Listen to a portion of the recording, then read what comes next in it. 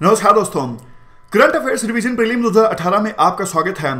Prelim 2018 के लिए IR revision में ये हमारा तीसरा लेक्चर है। चलिए डिस्कशन स्टार्ट करते हैं। सबसे पहला article India Israel industrial research and development and technological innovation fund के बारे में है। आई फोर एफ़ इंडिया और इसराइल मिलकर इस फंड को स्टैब्लिश करेंगे।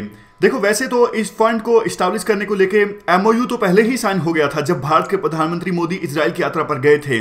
लेकिन कैबिनेट ने अप्रूवल दिया अगस्त में, इसीलिए यह अगस्त के करंट अफेयर में भी है।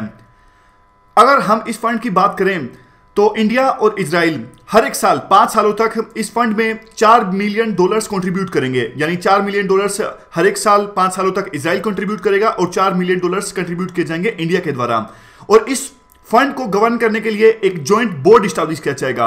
चार मेंबर्स आएँगे इसराइल की तरफ़ से और चार मेंबर्स आएँगे इंडिया की तरफ़ से। ज्वाइंट बोर्ड स्टैब्लिश होगा जो कि इस फंड को गवर्न करेगा।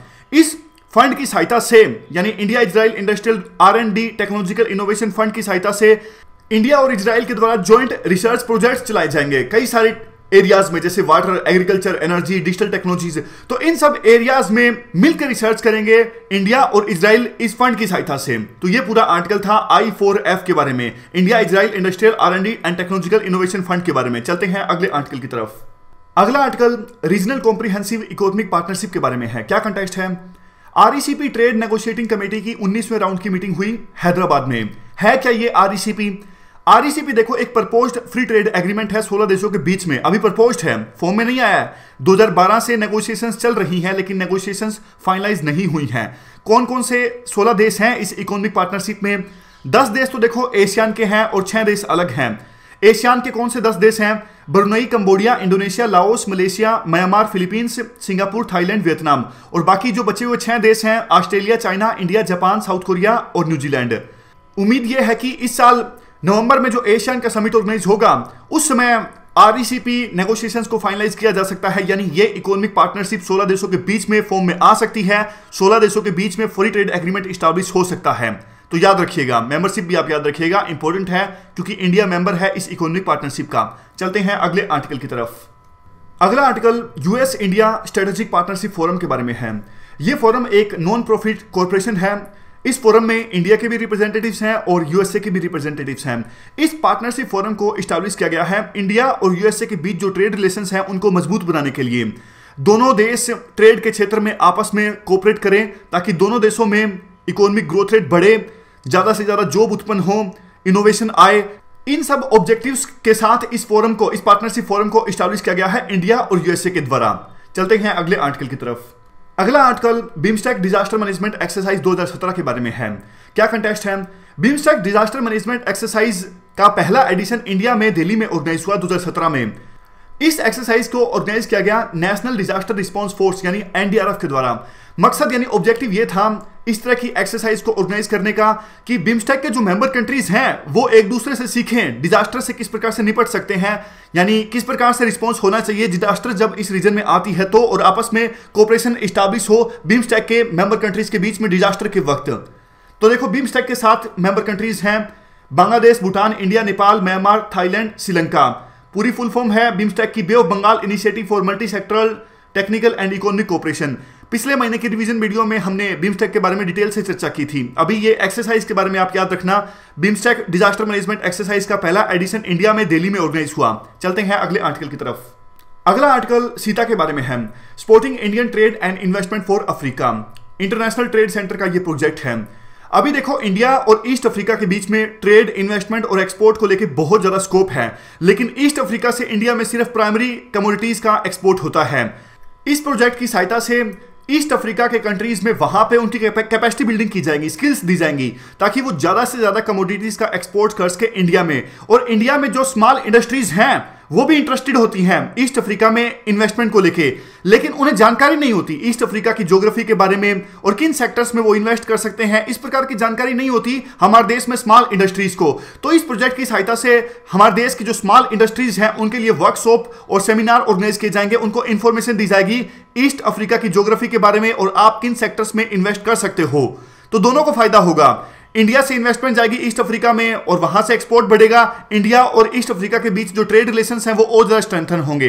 तो मेनली देखो ईस्ट अफ्रीका के पाँच कंट्रीज़ शामिल हैं इस प्रोजेक्ट में। Sporting India trade and investment for Africa कौन से पाँच कंट्रीज़ शामिल हैं ईस्ट अफ्रीका के? Ethiopia Kenya Rwanda Uganda united republic of Tanzania important है, याद रखिएगा सीता प्रोजेक्ट के बारे में। चलते हैं अगले आर्टिकल की तरफ़। अगला आर्टिकल ग्लोबल रिटायरमेंट इंडेक्स के बारे में है। यह इंडेक्स कैलकुलेट किया गया है French assessment management company Natixis global के द्वारा। तिरालीस कंट्रीज़ को रैंकिंग दी गई है ग्लोबल रिटायरमेंट इंडेक्स में नेटिक्सिस ग्लोबल के द्वारा। देखो, चार क्राइटेरियाज के आधार पे ये ग्लोबल रिटायरमेंट इंडेक्स तैयार किया गया है।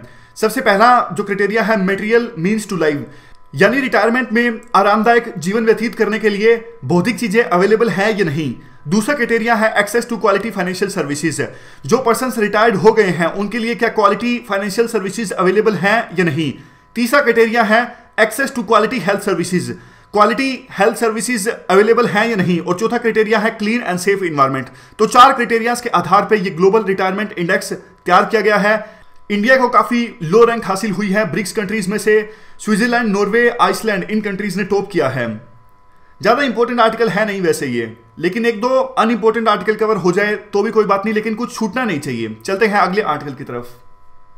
अगला आर्टिकल यूरेनियम बैंक के बारे में है। क्या कंटेक्स्ट है?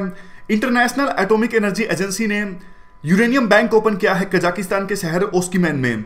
90 ton low enriched uranium capacity होगी इस यूरेनियम बैंक की। विभिन्न कंट्रीज़ ने इस यूरेनियम बैंक के लिए कंट्रीब्यूट किया है, जैसे Norway nuclear threat initiative European union Kuwait USA इन सबने कंट्रीब्यूट किया है इस यूरेनियम बैंक के लिए, जिसको ओपन किया गया है कजाकिस्तान के शहर ओस्कीमैन में।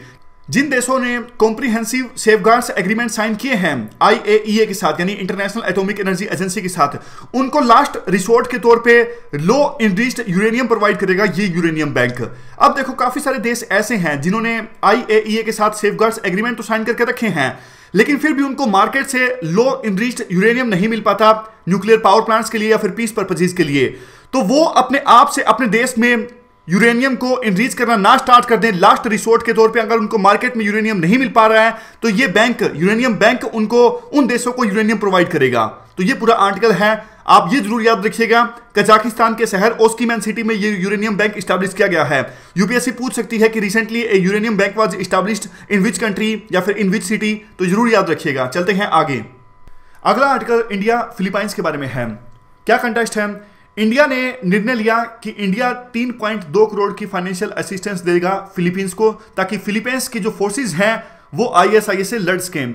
एक्चुअली मई में फिलीपींस की एक सिटी मारावी मिंडाओ प्रोविंस में, वहाँ पे आईएसआईएस ने कब्जा कर लिया था। और लड़ाई चल रही थी। फिलीपींस की जो फोर्सेस हैं, वो कोशिश कर रही थी कि आईएसआईएस के कब्जे को मारावी सिटी से छुड़वाया जा सके। तो इसी बीच इंडिया ने निर्णय लिया कि इंडिया फिलीपींस को 3.2 करोड़ की फाइनेंशियल सहायता देगा, ताकि फिलीपींस की जो फोर्सेस हैं वो आईएसआईएस से लड़ सकें। काफ़ी कम है वैसे 3.2 करोड़। और देखो, एक बात ये भी याद रखना, ये फ़र्स्ट टाइम है कि इंडिया ने किसी देश को फाइनेंशियल असिस्टेंस दी हो। डेडली ग्रुप से डेडली टेरर ग्रुप से लड़ने के लिए, यानी टेररिज्म से लड़ने के लिए इंडिया ने पहली बार किसी दूसरे देश को फाइनेंशियल असिस्टेंस दी है। ये इंपॉर्टेंट फैक्ट है। यूपीएससी इस प्रकार से पूछ सकती है कि हाल ही में इंडिया ने कौन से देश को फाइनेंशियल असिस्टेंस दी थी टेररिज्म से लड़ने के लिए? नाम होगा फिलीपींस चलते हैं अगले आर्टिकल की तरफ़। अगला आर्टिकल यूएसए की नई अफगान पॉलिसी के बारे में है। चार पॉइंट्स है मेनली यूएसए ने अपनी नई अफगान पॉलिसी में इंडिया को कहा कि इंडिया अफ़गानिस्तान में इकोनॉमिक डेवलपमेंट लाने के लिए एक बड़ा रोल निभाए। दूसरा पॉइंट यूएसए ने अपनी नई अफगान पॉलिसी में पाकिस्तान को क्रिटिसाइज किया और कहा कि पाकिस्तान के यहाँ जो टेररिस्ट कैंप्स चल रहे हैं, पाकिस्तान टेररिस्ट को शरण देता है, इन सब टेररिस्ट कैंप्स को बंद करे पाकिस्तान। ये दूसरा पॉइंट है। तीसरा पॉइंट यूएसए ने कहा कि देखो, हमारा काम अफ़गानिस्तान में आतंकवादियों के खिलाफ टेररिज्म के खिलाफ जो युद्ध चल रहा है, उसे जीतना है, ना कि अफ़गानिस्तान की नेशन बिल्डिंग ये तीसरा पॉइंट चौथा पॉइंट यूएसए ने कहा कि हम दो तरह के रोल निभाएँगे अफ़गानिस्तान के अंदर. एक काउंटर टेररिज्म मिशन और दूसरा, अफ़गानिस्तान की फोर्सेस को ट्रेन करना. तो ये चार पॉइंट्स हैं यूएसए की नई अफगान पॉलिसी के बारे में. चलते हैं आगे. अगला आर्टिकल पेट्रापोल और बेनापोल के बारे में है। ये इंटीग्रेटेड चेक पोस्ट है इंडिया और बांग्लादेश के बीच में। यूपीएससी पूछ सकती है, ध्यान रखिएगा, कौन से देश के बीच में इंटीग्रेटेड चेक पोस्ट है पेट्रापोल और बेनापोल? इंडिया और बांग्लादेश के बीच में। अभी कंटेक्स्ट क्या है न्यूज़ का? कंटेक्स्ट यह है कि ये जो इंटीग्रेटेड चेक पोस्ट है इंडिया और बांग्लादेश के बीच में, इन्हें 24 घंटे और सातों दिन ऑपरेशनलाइज किया जाएगा। पहले ये 24 घंटे सातों दिन ऑपरेशनलाइज नहीं रहती थी, लेकिन अभी इन इंटीग्रेटेड चेक पोस्ट पे ट्रेड को और ज़्यादा इन्हेंस करने के लिए ये निर्णय लिया गया है कि 24 घंटे सातों दिन ये जो इंटीग्रेटेड चेक पोस्ट हैं वो ऑपरेशनलाइज रहेंगी। इंडियन साइड में land ports authority of India और central board of excise and custom operate करती हैं इस इंटीग्रेटेड चेक पोस्ट को। चलते हैं अगले आर्टिकल की तरफ़। अगला आर्टिकल ग्लोबल लाइवेबिलिटी रैंकिंग के बारे में है। वर्ल्ड के डिफरेंट सिटीज़ को लाइवेबिलिटी के आधार पे रैंकिंग देता है ये global liveability ranking mainly 140 cities को रैंकिंग दी गई है और ऑस्ट्रेलिया का जो मेलबोर्न शहर है, उसको पहला स्थान प्राप्त हुआ है इस ग्लोबल लाइवेबिलिटी रैंकिंग में। इस रैंकिंग को पब्लिश किया गया है इकोनॉमिस्ट इंटेलिजेंस यूनिट के द्वारा। और देखो, इस रैंकिंग को तैयार करते वक्त 30 फैक्टर्स को कंसिडर किया गया है। जैसे, किसी सिटी में पब्लिक सेफ्टी कैसे है health care education infrastructure environment ये सब चीज़ें कैसे हैं? तो इन 30 फैक्टर्स के आधार पे विभिन्न सिटीज़ को 140 सिटीज़ को रैंकिंग दी गई है ग्लोबल लाइवेबिलिटी रैंकिंग में। इंडिया की कोई सिटी ना तो टॉप टेन में है और ना ही लास्ट टेन में है। सबसे लास्ट में स्थान प्राप्त हुआ है डमास्कस जो सीरिया की सिटी है। पहला स्थान मेलबर्न को, दूसरा वियना और बाद में लिस्ट इस प्रकार से है। ये सारे याद रखने की आवश्यकता आपको नहीं है। चलते हैं अगले आर्टिकल की तरफ़। अगला आर्टिकल पगोडास के बारे में है। म्यांमार का जो बागन शहर है, काफ़ी ज़्यादा फ़ेमस है पगोडास के लिए। पगोडास वर्शिप प्लेसेस हैं बुद्धिज्म से संबंधित। लेकिन देखो, यहाँ पे बागन में भूकंप आ गया था म्यांमार में। तो ये जो पगोडास हैं, इनको काफ़ी ज़्यादा नुकसान पहुँचा था। अब इंडिया और म्यांमार ने एक एमओयू साइन किया है। इंडिया मदद करेगा म्यांमार की बागन में भूकंप के कारण जो पगोडाज को नुकसान पहुँचा था, उन पगोडाज को कंजर्व करने में, उनको रिनोवेट करने में इंडिया मदद करेगा म्यांमार की। इस प्रकार का एमओयू साइन हुआ है इंडिया और म्यांमार के बीच में। तो देखो, इससे जो इंडिया और म्यांमार के रिलेशन हैं, वो और ज़्यादा मज़बूत होंगे। और जबकि देखो टूरिस्ट जब वहाँ पे इस सिटी में जाएँगे, म्यांमार में, बागन में तो उनको पता लगेगा कि इंडिया ने अपनी एक्सपर्टीज की सहायता से इन पकोडास को रिनोवेट किया है या फिर कंजर्व किया है। तो इंडिया की जो गुडविल है वो दूसरे देशों में भी बढ़ेगी। तो ये आप याद रखिएगा, बागन में पगोडास को रिनोवेट या फिर कंजर्व करने के लिए इंडिया ने एमओयू साइन किया है म्यांमार के साथ। चलते हैं आगे।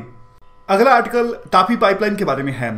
तापी की फुल फॉर्म है Turkmenistan, Afghanistan, Pakistan India map में आप देख लीजिए एक बार तापी पाइपलाइन के बारे में। चार देशों से होकर गुजरती है ये पाइपलाइन सबसे पहले तुर्कमेनिस्तान, जहाँ से सोर्स है। उसके बाद अफ़गानिस्तान, फिर पाकिस्तान, फिर इंडिया। अभी क्या कंटेस्ट है? तापी पाइपलाइन के प्रोजेक्ट को इंप्लीमेंट करने के लिए स्टीयरिंग कमेटी की जो मीटिंग है, वो इंडिया में ऑर्गेनाइज हुई। लेंथ है तापी पाइपलाइन की 1814 किलोमीटर से। लेकिन देखो, बहुत सारे रीजंस के कारण तापी पाइपलाइन का जो प्रोजेक्ट है, वो रुका हुआ है। हाल फ़िलहाल में चारों देश कोऑपरेट कर रहे हैं ताकि इस प्रोजेक्ट को इंप्लीमेंट किया जाए। और जो ऑब्जेक्टिव है तापी पाइपलाइन का 90 मिलियन स्टैंडर्ड क्यूबिक मीटर्स की जो गैस है, वो सप्लाई होगी एक दिन में 30 सालों तक। और देखो 90 मिलियन स्टैंडर्ड क्यूबिक मीटर्स में से जो 38 million standard cubic meters natural gas की सप्लाई है, वो पाकिस्तान को मिलेगी। और 38 मिलियन स्टैंडर्ड क्यूबिक मीटर्स की सप्लाई इंडिया को मिलेगी। और बची हुई 14 मिलियन स्टैंडर्ड क्यूबिक मीटर्स की सप्लाई अफ़गानिस्तान को मिलेगी। तो अगला article international organization for migration से संबंधित है। ये एक इंटर गवर्नमेंटल ऑर्गेनाइजेशन है। इस्टाब्लिश की गई थी उन्नीस में। जब इसे इस्टाब्लिश किया गया था, तब तो ये ऑर्गेनाइजेशन यूएन का पार्ट नहीं थी, लेकिन 2016 में ये ऑर्गेनाइजेशन यूएन का पार्ट बन गई। हेडक्वार्टर है इंटरनेशनल ऑर्गेनाइजेशन फॉर माइग्रेशन का जनेवा स्विट्जरलैंड में। फ़िलहाल मेंबर्स की संख्या है एक और याद रखिएगा इंडिया भी मेंबर है इंटरनेशनल ऑर्गेनाइजेशन फॉर माइग्रेशन का। करती क्या है ये इंटर गवर्नमेंटल ऑर्गेनाइजेशन माइग्रेंट्स को ह्यूमैनिटेरियन असिस्टेंस प्रोवाइड करना इंटरनेशनल कोऑपरेशन स्टैब्लिश करना माइग्रेंट्स के इशू पे और माइग्रेंट्स के इशू पे विभिन्न स्टेट गवर्नमेंट्स को एडवाइस करना, ये सब काम है इंटरनेशनल ऑर्गेनाइजेशन फॉर माइग्रेशन के। चलते हैं अगले आर्टिकल की तरफ़। अगला आर्टिकल इंटरनेशनल वैक्सीन इंस्टीट्यूट के बारे में है। क्या कंटेस्ट है? एमओयू साइन हुआ है ICMR Indian council of medical research और इंटरनेशनल वैक्सीन इंस्टीट्यूट के बारे में। दोनों ऑर्गेनाइजेशंस मिलकर कोलाबरेट करेंगी वैक्सीन रिसर्च और वैक्सीन डेवलपमेंट में। आईवीआई यानी इंटरनेशनल वैक्सीन इंस्टीट्यूट के बारे में हम बात करें तो इसका हेडक्वार्टर है सियोल साउथ कोरिया में, और इसे स्टैब्लिश किया गया था यूएनडीपी के प्रयासों से। काम क्या है आईवीआई का? काम है नई वैक्सीन प्रोड्यूस करना या फिर पहले ऑलरेडी जो वैक्सीन हैं, उनको, उनकी एफिशिएंसी को और ज़्यादा इंप्रूव करना, ताकि लोगों को इन्फेक्शियस डिज़ीज़ से प्रोटेक्ट किया जा सके। और इंडिया देखो, हमेशा से कोलाबरेट करता रहा है आईवीआई के साथ 2007 से ही, और 2012 में तो इंडिया फुल मेंबर बन गया। आईवीआई के गवर्निंग काउंसिल का एक देखो जो काफ़ी फ़ेमस एग्जांपल है इंडिया ने आईवीआई के साथ कोलाबरेट किया और कोलाबरेट करके शैनकोल एक first low cost oral cholera vaccine है, इसको डेवलप किया इंडिया ने आईवीआई के साथ मिलकर तो याद रखिएगा शैनकोल जो वैक्सीन है, ये first low cost oral cholera vaccine है। इंडिया ने इंटरनेशनल वैक्सीन इंस्टीट्यूट के साथ मिलकर कोलाबरेट करके इस वैक्सीन को डेवलप किया है। लाइसेंस मिला इंडिया में 2009 में और डब्ल्यूएचओ ने इस वैक्सीन को प्री क्वालिफाई किया 2011 में। तो इस डिस्कशन में फ़िलहाल इतना ही है। करंट अफेयर रिविजन प्रीलिम 2018 की सीरीज़ में आईआर का यह हमारा तीसरा रिविजन लेक्चर था। Thank you thank you very much for discussion